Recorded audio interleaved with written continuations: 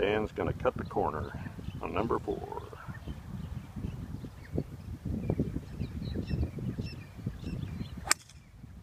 Right through there, you found the hole. Oh my gosh. Maybe